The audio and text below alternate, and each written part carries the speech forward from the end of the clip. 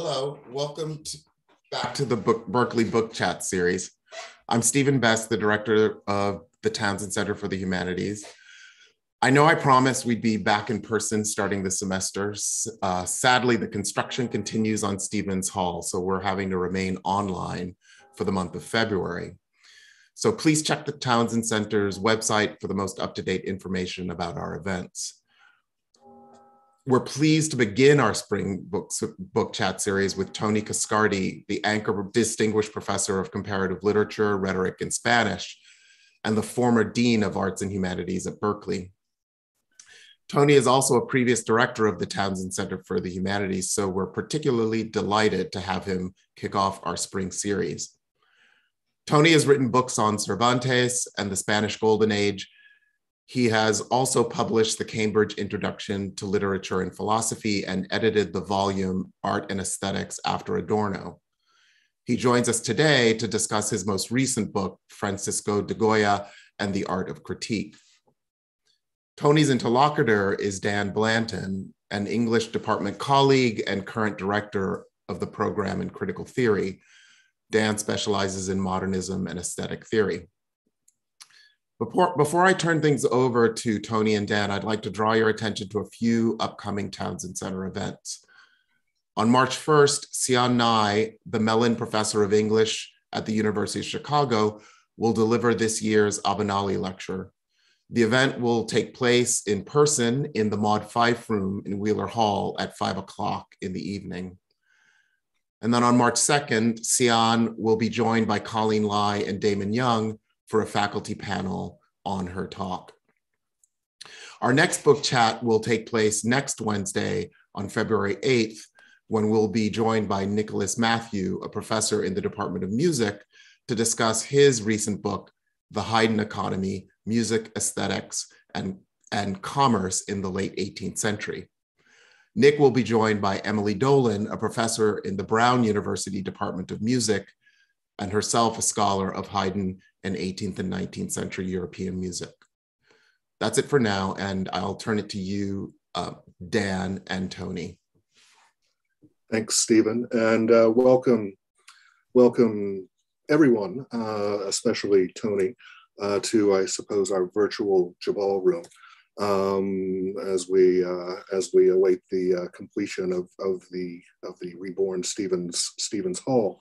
Um, let me say just a couple of things um, about this uh, intricately argued, lavishly illustrated, uh, and wonderfully comprehensive um, book, and recommend recommend that everyone, uh, as Tony begins begins to unpack it for us, uh, consider the uh, the two halves of the conjunction uh, in play here, um, Francisco de Goya and the art of critique.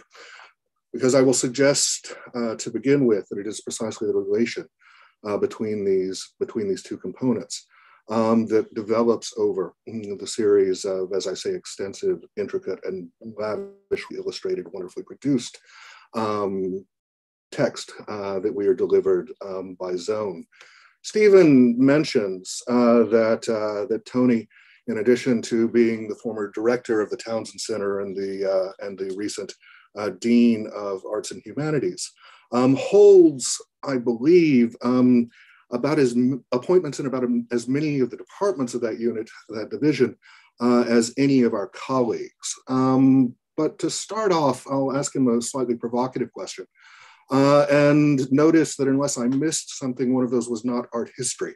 Uh, and so, Tony, you advert to this a little bit in the acknowledgments to the uh, to the book. Um, but if you could say something about how you came uh, to this encounter with art history, we could call it that. Uh, hi, Dan. Thank you. Thank you so much for taking the time to read the book uh, and for being here to engage in this conversation about it. I give you a, a, short answer to that question, and I could follow that up if if we have time with a much more robust answer. Um, the short answer uh, it lies in the relationship between research and teaching, and we we very often say, and it's true, that at a research university, our teaching is uh, is deeply informed by the research that we do. But in this case, it actually happened the other way. The research was, in fact, instigated by a teaching assignment. And the teaching assignment, now many, many decades ago, was a course in one of my departments, the Spanish department, on the subject of Spanish culture. And I decided to include three artists, three visual artists in that course Velazquez, Goya, and Picasso. And since it was a, a course on culture, the questions were really quite contextual about their work. And I was uh, able to do reasonably well with Velazquez because of the work that I had done in the Spanish Golden Age, the Renaissance, early modern period. And with Picasso, because of the work that I had done very, very early on, actually late in graduate school on the avant gardes. But Goya, when the week uh, for Goya started approaching, I realized that I was quite stumped. And I, I was stumped because there were so many different Goyas, it seemed to me. Uh, the looks of which, I mean, the looks of the images, uh, not resembling one another at all, and in fact, seeming quite contradictory. So I can't actually recall now how I managed that week. I, I obviously got, got through it and hopefully uh, didn't do too much damage to the, to the students. But the puzzle of Goya and the tremendous diversity of the work, the apparent internal contradictions of the work, and the challenge then of saying something about that work as a whole remained with me and evolved, uh, simmered, uh, went to the back burner, reappeared many times over the course of many decades until I was, in the end, able to formulate something that I thought would be relatively coherent uh, about it. Um, and if uh, if it would serve to give uh, those watching a sense of what this enormous diversity of work is like and how it appears quite contradictory in some ways. Uh, i've arranged for just a few slides six or seven slides. Um, and I, would like to ask the, the folks at the townsend center if we could run through them just very quickly. I don't intend to dwell on any of them but just to give a sense of the enormous uh, diversity, as I said, of, of Goya's uh, of Goya's work. Um, let's see, we're, we're already racing through some of them. The first one, one of the so-called black paintings of a semi-sunken dog. This a still life from there we go. There's the there's the dog. Um, the second, uh, a still life of uh, from a, a butcher's shop. Apparently, uh, it had uh, some ribs. Uh, next slide, please. This, uh, the very well-known frontispiece of his etchings called the Caprichos. Um, there's something you might observe quite interesting about the, the caption on this. It says Francisco Goya y Lucientes Pintor, which is to say painter. Uh, oddly, he portrays himself as a painter at the head of a collection of uh, images that are not at all paintings, they're etchings. Uh, next uh, a rather late work, a self-portrait of Goya in his illness uh, being ministered to by a doctor named Arrieta. Uh, very, I think, touching, moving uh, portrait. Uh, next. Uh, one of his many portraits of aristocrats, this one hanging in the Metropolitan Museum in New York, a portrait of Sebastian Martinez, very, very put together and proper. This, another of the black paintings of Saturn devouring his son. And I think this is our last image to share uh, one of the so-called tapestry cartoons called the Parasol. These cartoons were uh, sketches, essentially, that Goya made to be handed over to the tapestry makers in the Royal Tapestry uh, Factory. The point of running through these images is just to illustrate the, the tremendous diversity of Goya's work uh, and how, uh, on the one hand, something as luminous, as uh, lush, uh, as filled with light and a very adept use of light and shadow in the parasol uh, seems to be a, pol- a polar opposite of something like the Saturn devouring his son, with pretty much everything in between. So the question that instigated the book for a non-art historian, which is what you what you asked me, was how to say something about this work. Uh, sometimes I, I, would phrase my, my problem as would the real Francisco de Goya please stand up? Um, in any case, that was the instigation. Yeah, it strikes me that what originates as as a sort of discovered pedagogical problem of having to figure out what one is teaching next. Turns out in this case to, to divulge something about the truth of the object.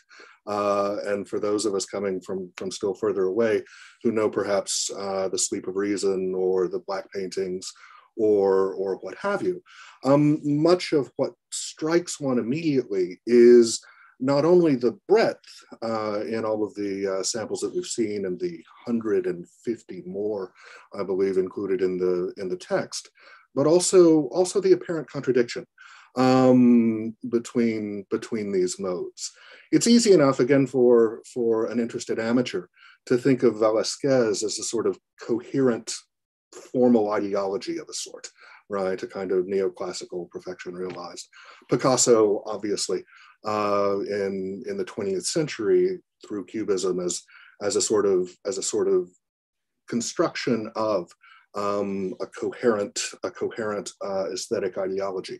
It seems more difficult in Goya's case, even apart from from one's familiarity.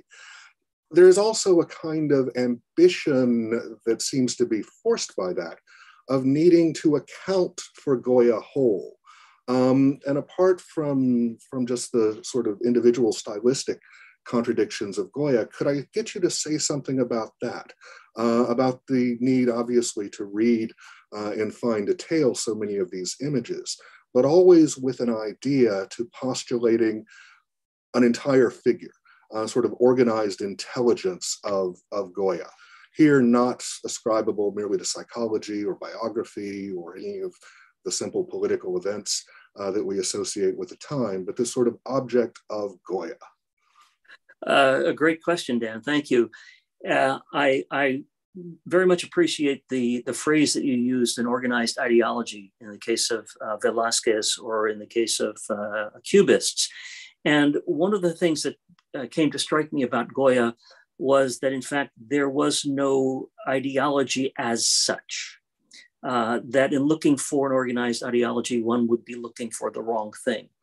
And similarly, that in looking for what I would call the artist's signature, I mean, the traits of style that are consistent throughout the work, one would be looking for the wrong thing. Those are very likely reasonable places to look, reasonable things to look for, but in fact mistaken uh, in this case.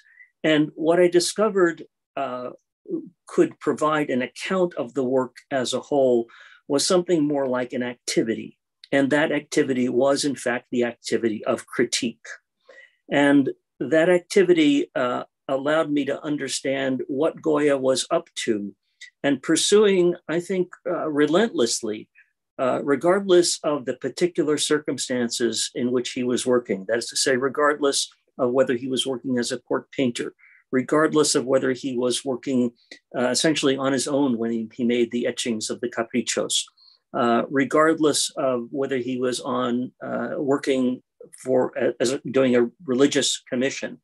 He was consistently involved in an activity, and the nature of that activity, which I came to understand as critique, seemed to me to be one of the keys to understanding what Goya was relentlessly up to over the course of, of his career. The, um, the uh, critique, of course, uh, sort of language and terminology that we, uh, that we tend to associate as criticism with art history and as, as critique um, with philosophy. Um, what happens, uh, if I can ask it this way, uh, when one treats a painter uh, as the sort of vehicle of something like a philosophical system that isn't finally philosophical, that is happening in a non discursive medium, that is happening in a kind of non conceptual range, but nonetheless begins to betray exactly this kind of coherence uh, that one might expect from a sort of thoroughgoing activity, uh, as you put it, of critique.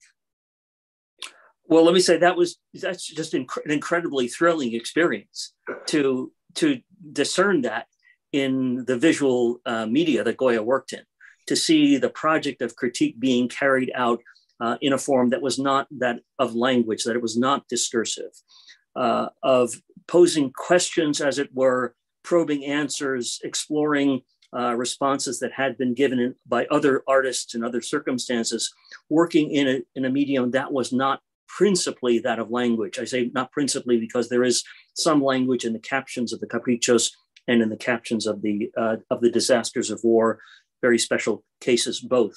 But it was just absolutely thrilling to see this work happening in the form of a visual medium, and my my answer uh, would in fact take the form of another question, and that's why not? Why why would one not be able to pursue a project of critique in a form that does not involve language? In fact, you might say that language puts some uh, inherent limitations on a project of critique. Uh, la- language is a is a extraordinarily versatile, but also has its limitations. And so, to see what could be achieved by way of critique in a medium that was not that of language was just I can't uh, say how thrilling it was. So, say more about the sort of objects on which uh, the the activity of critique lands. Um, we begin uh, in the book, for those who haven't had a chance to, uh, to sink in yet, um, with the San Antonio frescoes uh, and the tension in Goya's handling of inherited traditional sacred uh, materials before, before moving outward in the tapestry cartoons to a sort of more topical and social, social range, sometimes verging even on something uh, perhaps mildly, mildly satirical. Um, as, as we've suggested already, this is perhaps not the Goya uh, that most of us immediately uh, associate associate with a name, but it brings his work into first in the first in the sacred images and then in the secular ones uh, into a kind of into a kind of social field uh, that that opens up along the way. Talk about what happens with with Goya's turn into this into this uh, into into this space um, but also what the activity of critique discovers there, what it what it finds. Let me say a couple of things. Uh, first off, the you asked about the objects of his critique, and uh, corresponding to the tremendous diversity of these images, uh, of which we saw a brief sample, the objects of his critique are pretty much everything. Um, and so there's a thoroughness about the project that is reflected in the diversity of the objects uh, toward which he uh, directs his critical his gaze the project of critique that is. Uh, and i think that in order to be as thorough as goya wanted to be as he turned out to be uh, he had to be extraordinarily encompassing in the, the, in the regions toward which he directed his project of critique. Um, in, in that regard, he's a little bit like, although they're very different from, a little bit like Kant. Um, the, the idea is to call everything into question and to bring into the project of critique um, everything such that the things that we know can actually stand on some kind of firm ground. The question of what survives the project of critique and where that firm ground is is another um, issue that we could we could talk about. But yes, uh, the religious sphere attracts his critical gaze, uh, but so to politics, so to history, so to the society around him, uh, so to the the entire arena of psychology, of of desires and impulses. So it's a vast, uh, it's a vast palette um, that is involved in this in this project of critique. By specifically directing his attention to society as he does in the Caprichos, he's um, he's looking at things that are very very proximate, that are very nearby. He's looking at the world that surrounds him, uh, and part of what he's seeing in that world is the fact that the inhabitants of it are quite unaware of uh, their own failings. They're quite unaware of their own superstitions. They're quite unaware of their own prejudices. Uh, they're quite unaware of their own their own biases. They're quite un- uh, unaware of their own narcissism, um, and so it's not simply the narcissism, the bias, uh, the prejudice, the superstition that Goya is targeting. It's actually the lack of self consciousness about those things that he is targeting. And one of the key elements of a project of critique is, of course, the element of self consciousness.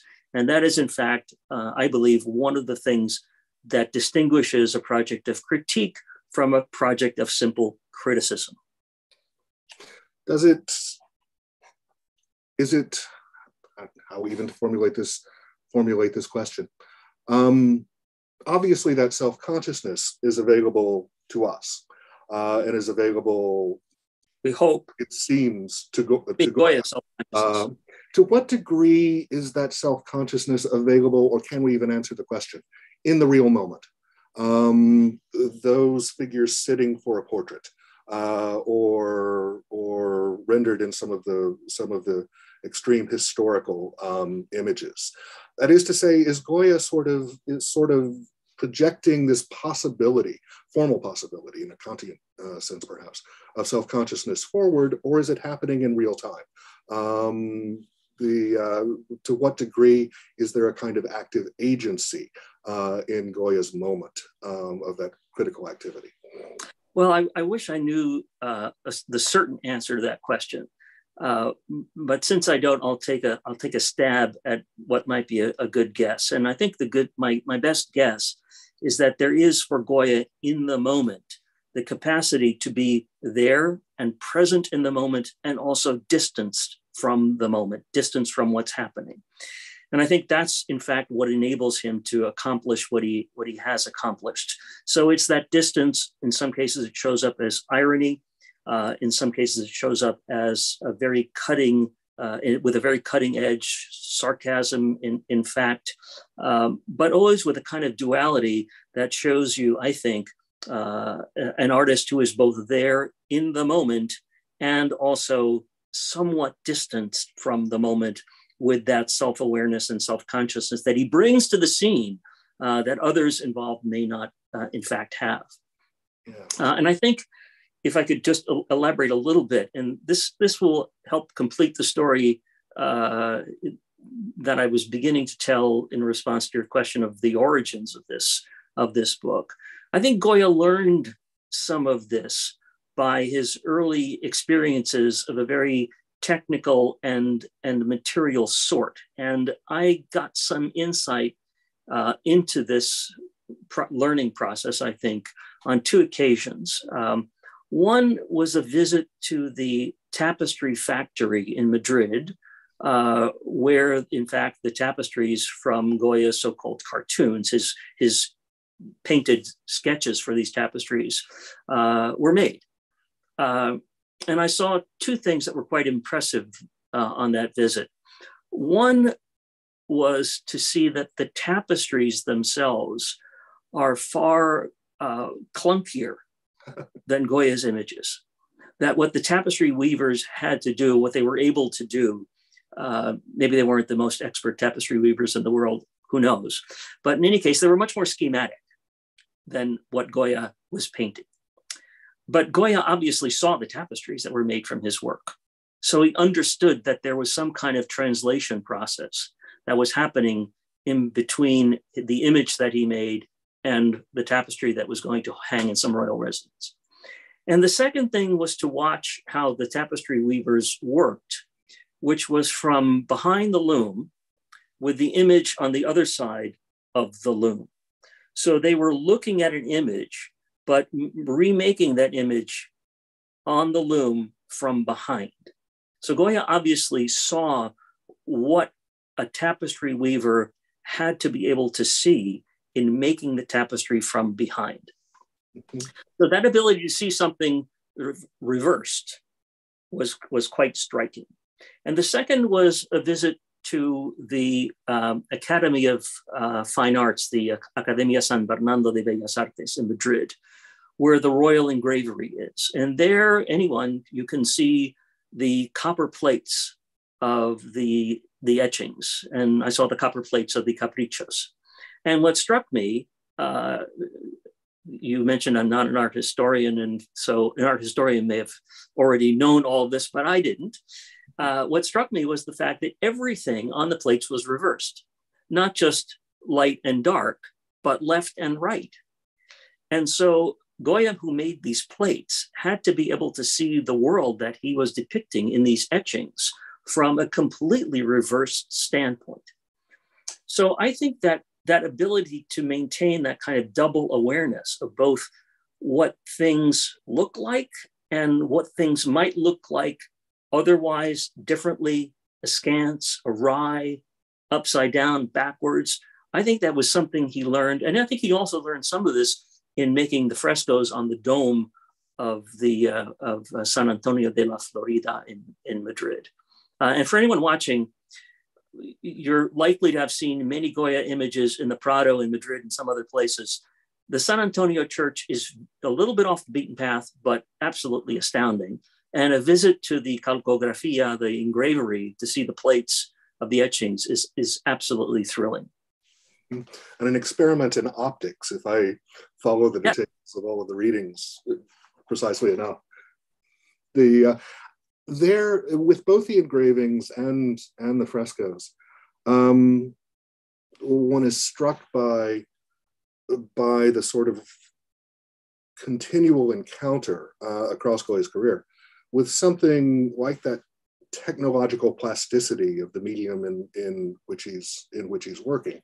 Um, not not easily reducible to the kind of you know notion of medium uh, and imitating of imitating that we later get with uh, Greenberg and a and a certain modernism, but a but a kind of a kind of technical materiality of the entire thing. And it is striking too uh, that in that in that renewed discovery of the reversibility of the plates and and all the rest, that this activity of critique for Goya seems never to launch him off into the sort of pure formalism uh, that we associate with Kant. And the encounter with Kant forms kind of, kind of one of the central dialogues um, at the core of the book, uh, but throws him back into the world. Um, if we think about critique in a Kantian vein as kind of the, the formalization of the conditions of possibility of experience, perception, perception, etc. It strikes me that Goya's version of critique is all about formal conditions of possibility as well, but they turn out to be quite different. Uh, they turn out to be to be sort of insistently concrete um, and connected, never never achieving that sort of pristine transcendence uh, of Kant, as if he's being pushed back uh, into the range of the real at every turn. I, I, think that's absolutely right. And I think that's also uh, an answer to a question you, you, raised earlier, which is about the uh, carrying out a project of critique in a medium that is not discursive.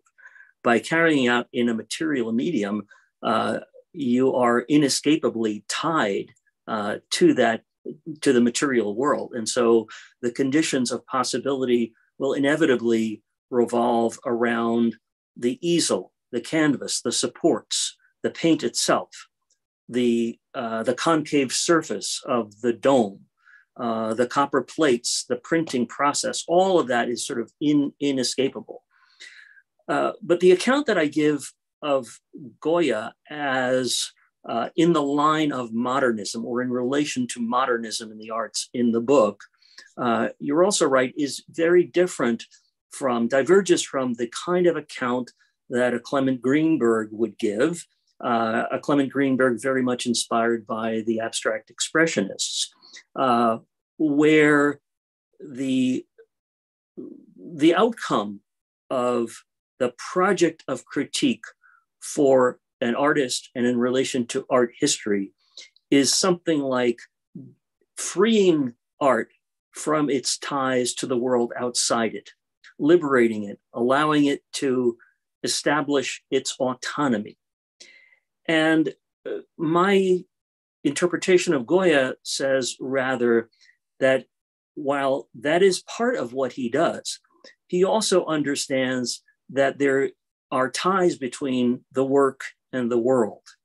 There are ties between the work and the sphere of politics and history and religion uh, and, uh, and psychology.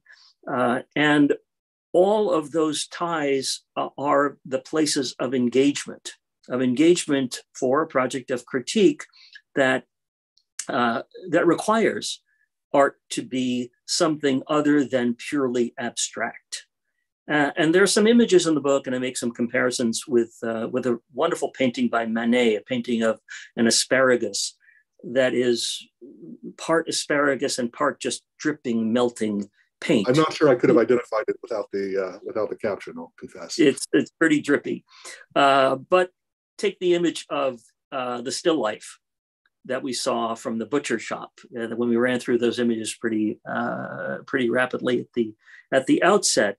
Uh, that's as much about paint as it is about st- a still life, as it might be about the situation of famine in Madrid at the at the time. It's about both things, and so Goya is continuously aware of and working with and through the material medium that he's involved with. He's, con- he's continuously working with and in and through that. Uh, but he's also uh, casting his gaze and engaging with a, in a project of critique that goes outside that. Yeah. Uh, yeah. The it, it strikes me then that one of the one of the achievements um, of of conjoining uh, Goya and critique in this way is to redefine abstraction in two directions, right? That we uh, that we have a kind of we have a kind of questioning of that art historical version of abstraction, even as we have a kind of refusal or regrounding um, of the philosophical and, and Kantian one. And what emerges between them is, is, I guess you put it this way a number of times, um, a sort of a sort of problem of figuration uh, that neither our art historical nor our nor our philosophical um, tools, vocabulary, uh, quite prepare us to handle. Um, this may be a little bit too speculative, but but I wonder if you have an idea of a kind of art history after Goya uh, that attends, thinking of Monet and the sort of traditions that branch off there, uh, that attends more to figuration than abstraction? What happens if we sort of change the frame uh, of what we're looking at? In, I'll confess that in, in light of reading about Goya, it occurred to me that, you know, maybe Picasso isn't actually all that abstract. Um, abstract expressionism might be, but I'm, I'm not sure that Cubism isn't, isn't sort of firmly, firmly regrounded here. Uh, no, I think you're absolutely right about uh, about Cubism in, in, that regard, and I think I'd also agree with about abstract expressionism. But l- let me answer the question uh, in, in, a slightly different vein uh, by saying that I think the the question of the problem of figuration um, suffers from a bad uh, initial formulation, a bad formulation that goes back a very very long time. Uh, and the problem is, is lies in the assumption that when one makes an image, the purpose is to make something that accurately and faithfully resembles something out there in the world. And you know, we could take this all the way back to Plato and Plato's critique of, of images and image making. Uh, and as is quite well known, Plato saw the work of artists as uh, as an inferior enterprise because they made copies of things and copies of things were by definition inferior to the, the things themselves. But what if we were to say that uh, and what if we were to think that a, a figure uh, whether it's a landscape a human figure uh, an architectural figure um, both resemble something in the world but doesn't, but differs from something in the world and differs in, in, an important way.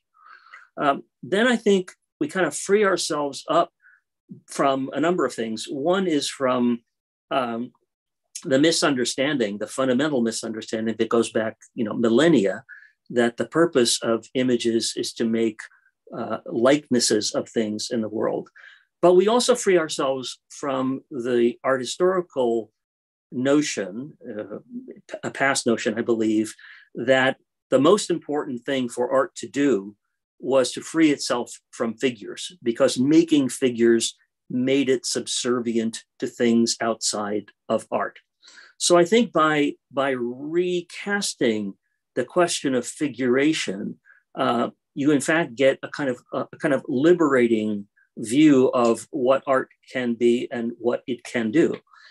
And moreover, I think by maintaining a figure the connection between art and the things in the world that we might think of as lying outside of art uh, is sustained.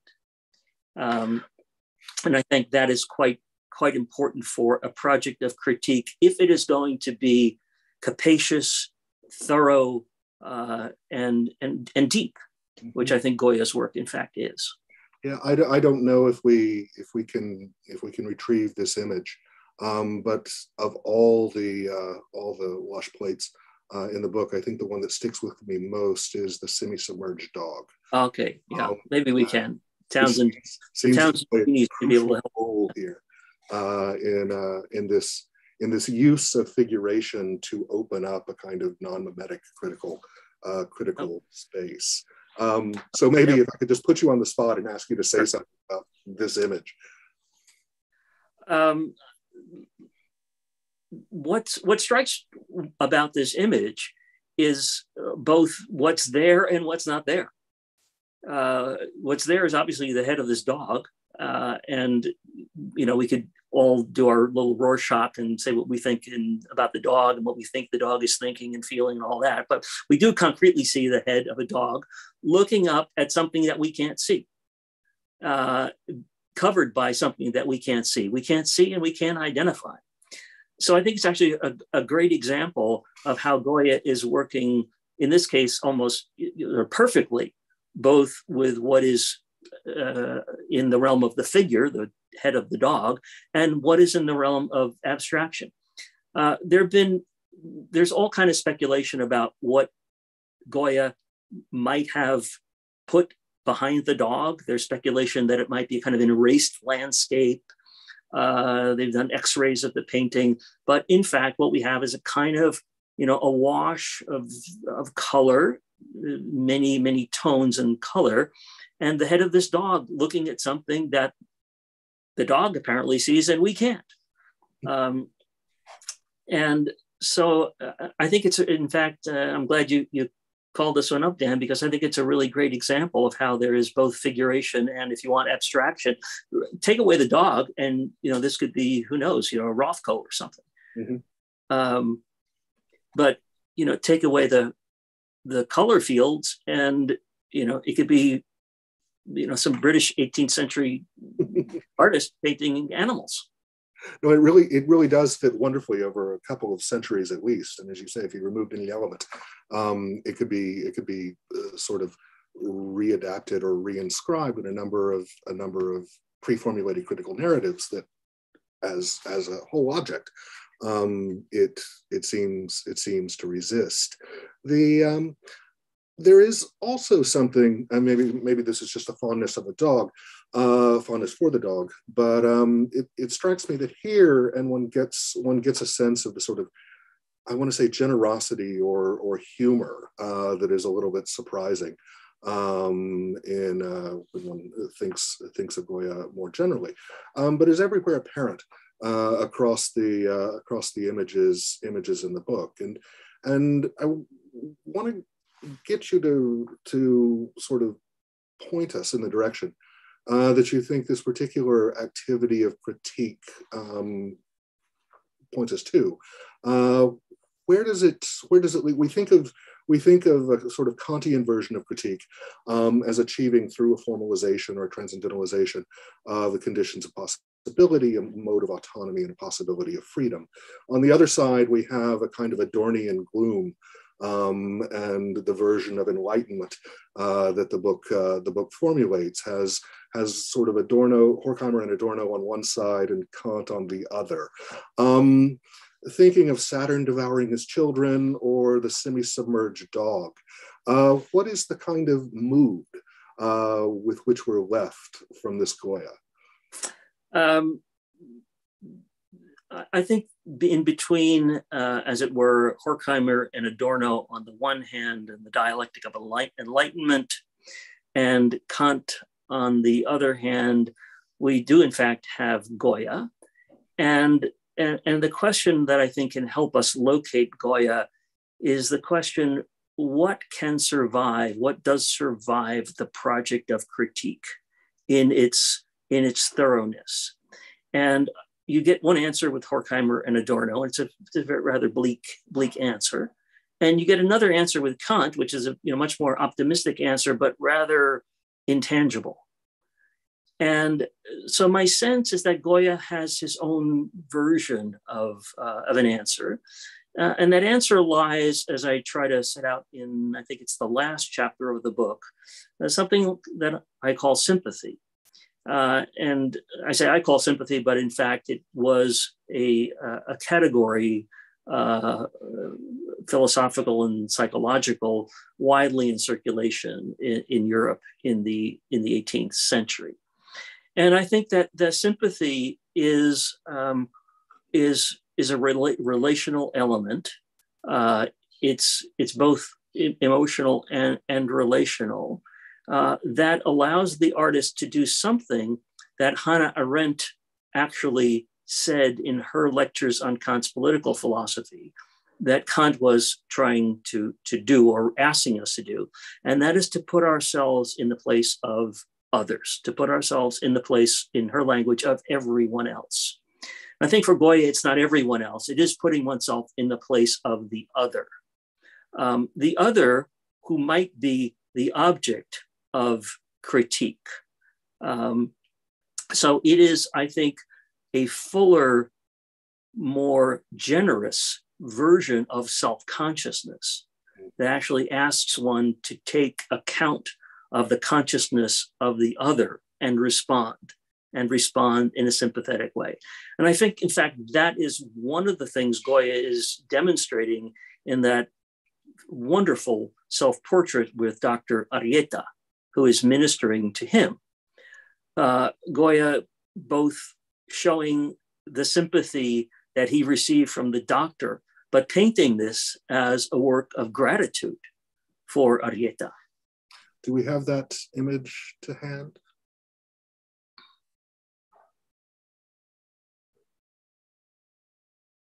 There we go. Yeah, and this is a very late piece. One of one of it is. It is a very, in fact, a very late piece.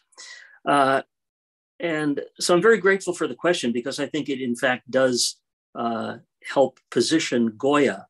And what I uh, argue is a nature of his response to questions that were at, have been asked by thinkers as diverse as Adorno and Horkheimer on the one hand in the 20th century and and Kant. Um, and the it strikes me as we turn to the and the striking last um, last uh, move uh, of the book to sympathy out of out of out of a more archly uh, poised um, version version of critique does seem to does seem to undertake a kind of programmatic certainly generalization if not universalization uh, of this older 18th century um, more empirically uh, grounded um, account account of sympathy, um, and and takes us takes us indeed into uh, into uh, Hegel uh, from from the sort of Kantian Kantian anchorage anchorage as well, um, but does so in a way, and I think this image wonderfully catches it, uh, which suggests that really only art can do that work, right? That we don't quite have we don't quite have um, a sort of Kant doesn't allow us to do this. There is here an engagement with the dialectic of enlightenment, but there's also a kind of dialectically attuned version of enlightenment um, being being performed uh, in in images in images images like like these. Um, in that sense, I mean, maybe it only wraps back to the uh, one of the initial questions about taking taking art um, not merely as a sort of object of critique, but as its as its instrument uh, and in this case, this case perhaps a better one uh, than some of the uh, some of the philosophical philosophical tools to which we we otherwise um, otherwise take recourse. So let me say something uh, in response to that, and in fact, something that will re- return to your earlier question about uh, my my role as a non-art historian and my involvement with the work of um, visual art. Yes. And, and that is for, for a very long time, I had been working uh, with literature and the ways in which literature picks up and engages philosophical questions.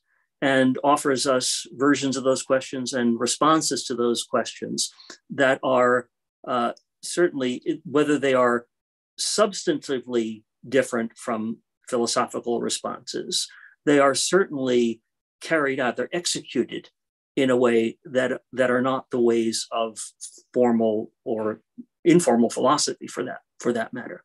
And so the move to, to visual art for me was in some regards an extension of the same kind of thing that I had been doing with, with literature. And I'm, I'm saying this in part because uh, I, I want to speak also in defense of literature. And I don't want to make the visual art, I don't believe that visual art has a capacity that no other medium has. It has a different capacity.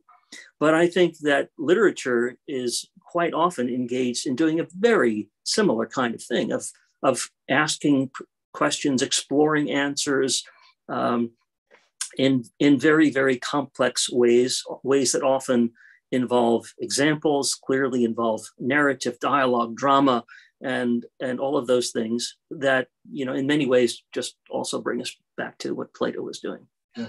No, and picking up that uh, that move of figuration away from the kind of constraint of constraint of mimesis, um, whether we're talking about literature, music, visual arts, what have you, uh, doing so in a way that doesn't have to remain derivative, uh, doesn't have to remain secondary uh, to these to these sort of to these sort of uh, larger conceptual discourses. Um, I think we have arrived uh, at the moment about a quarter of an hour, uh, quarter quarter till, um, in which it's time to open open the discussion up uh, and to uh, to um, let let everyone else uh, sort of formulate uh, formulate their own their own um, their own questions. Um, first question is about uh, properly uh, the the etching plates and the uh, the, um, the provenance uh, of uh, of some of the uh, some of the images here. Um, should we should we pull up some of the Capriccio images just to? Um, I think we just have the one frontispiece. The maybe that first self portrait of, yeah. of Goya. Yeah, but talk talk a little bit more about about some of the kind of technical format um, of some of these things, starting with uh, with the caprichos, and and perhaps just give a sense of the range and, and breadth uh, of the caprichos as well, because they they form a sort of central uh, reference in all of this. Yeah, uh, in in fact they do. So um, interestingly, these were works that Goya did on his own. They were not uh, commissioned. Uh, he he made them. He put them up for sale. They did not do well. He withdrew them rather rapidly. Um, but he was experimenting in, a medium of, of, etching and, and aquatint. Uh, and there are many uh, subgenres of this uh, of this medium. Some depending on the kind of stylus that is used, depending on whether there's um, ink um, added with a brush afterwards.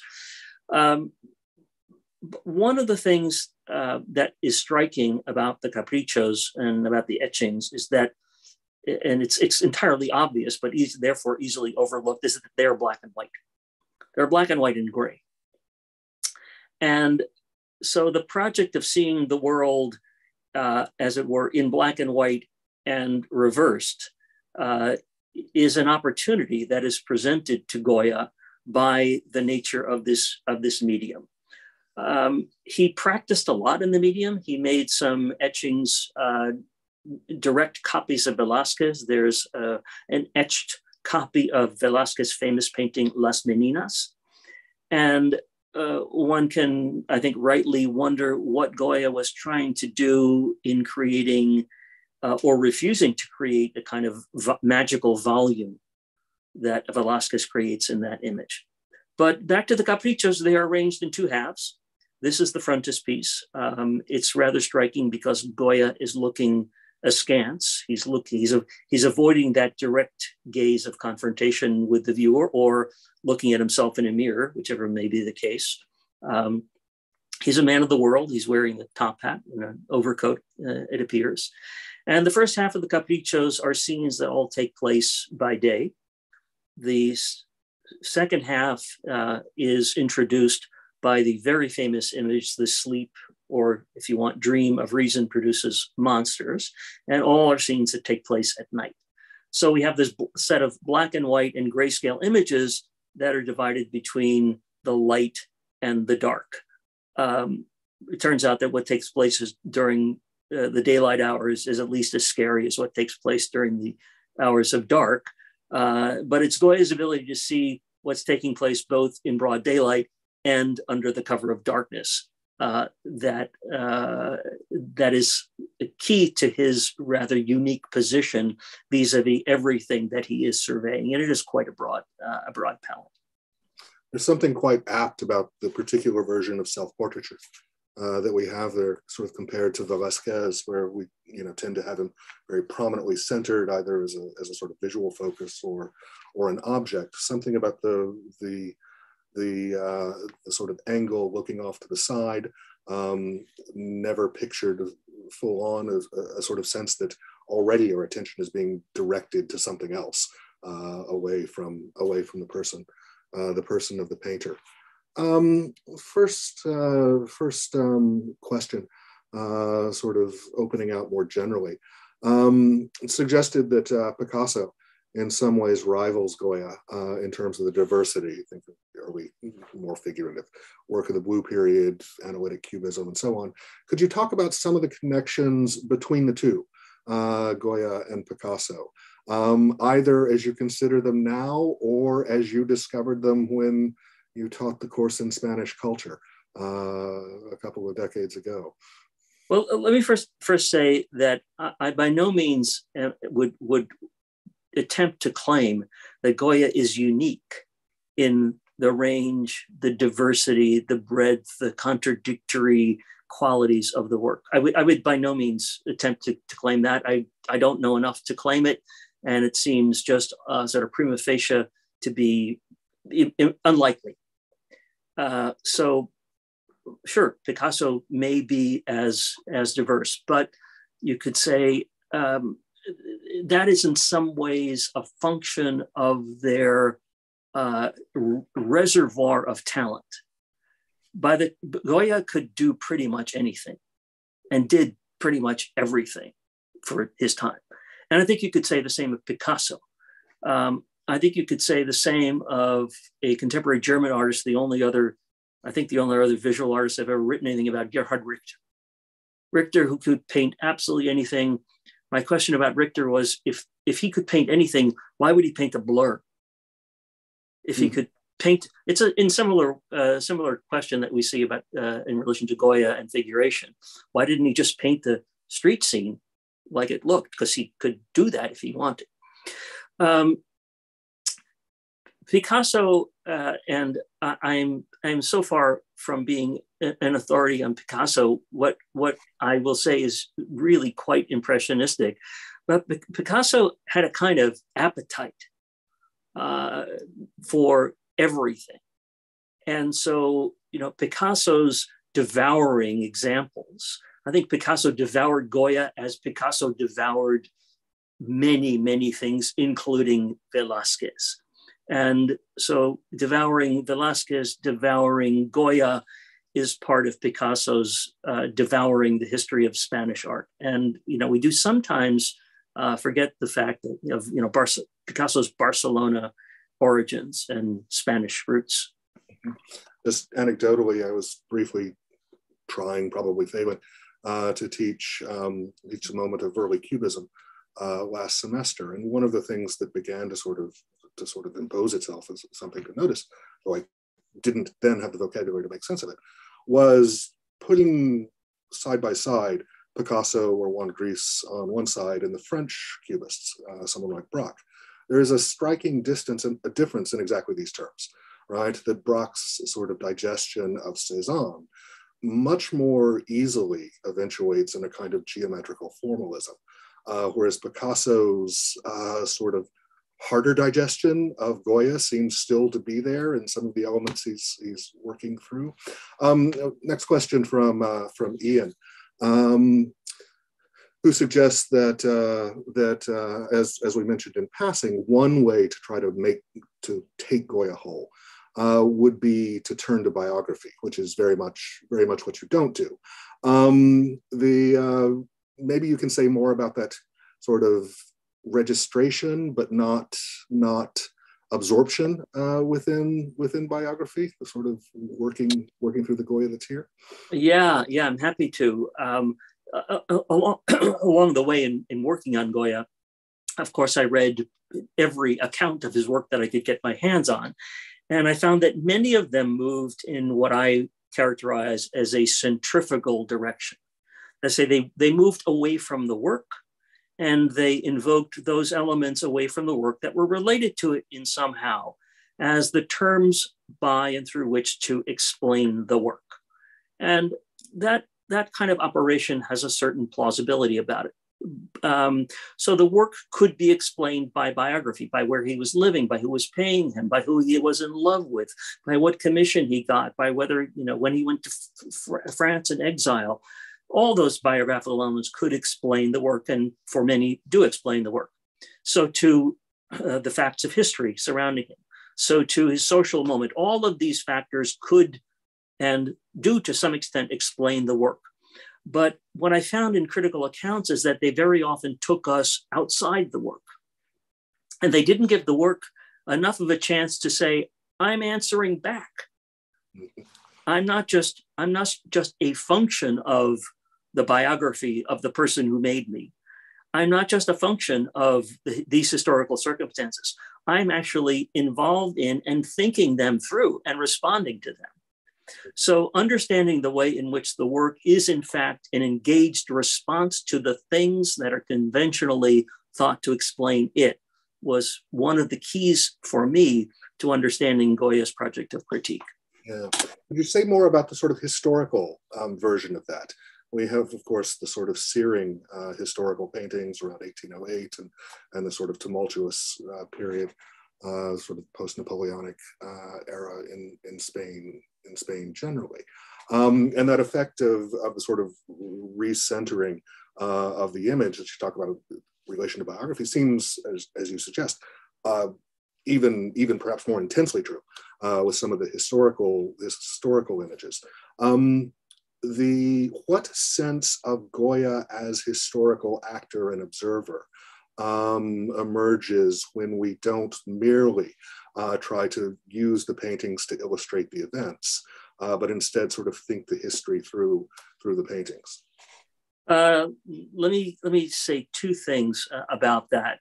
Uh, one one has to do with Spain at this particular historical juncture, uh, which is to say, at a juncture of great tumult in Europe, a, a juncture of great tumult that is quite often marked as a turn an important turn in the uh, in the course of modernity. So where does Spain stand in the course of history uh, in these decades, uh, tumultuous decades of modernity at this moment? And where does Spain stand uh, in relation to other countries in Europe that seem very much to be driving history? And we think especially of the French Revolution driving history. Uh, and I think Goya found himself by virtue of circumstances at a very complex historical moment. That is to say, understanding that Spain, which was not on the forefront of modernity and the Enlightenment, um, was uh, was an implausible alternative to this forward, rapidly forward moving history, but also that there were enormous problems with this forward moving history that you see reflected in the images of the second and third of May, those grand historical uh, canvases that I think you were, were referring to. Uh, specifically, and I, I, know we're running a little bit uh, short on time here, but specifically, if you look at the, the, the uprisings of the 2nd of May, it's chaos.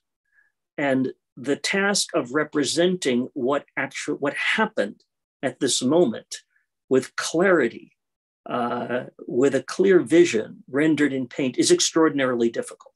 And I think that's in fact what Goya shows us. Mm-hmm, mm-hmm. Suggests too, perhaps another another sort of buried buried commonality of historical situation. Uh, if we think about the German recourse and perhaps comparable um, position of sort of semi-peripherality or, or what have you, uh, they're very different, differently arranged to the Spanish one. um, there seems a kind of a kind of analytic advantage, uh, perhaps, in being being forced to to process and to and to conceive um, the history marching in real time from a slight distance uh, or from a slightly different uh, historical situation. Sadly, um, certainly for me, uh, we're to the end of the hour.